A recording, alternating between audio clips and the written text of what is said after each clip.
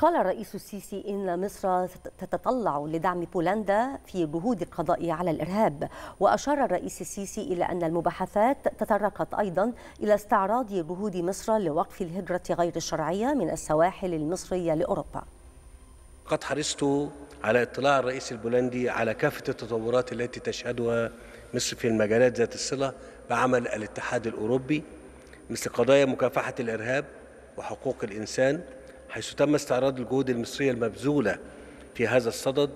لا سيما مع إطلاق الاستراتيجية الوطنية الأولى لحقوق الإنسان في سبتمبر 2021 وكذا ما يتعلق بالتطور الذي تم إحرازه في مجال تعزيز حقوق المواطنة والحريات الدينية ومكافحة التطرف. وقد تطرقت المباحثات أيضا إلى استعراض الجهود التي بذلتها مصر من خلال جميع مؤسساتها لوقف الهجرة غير الشرعية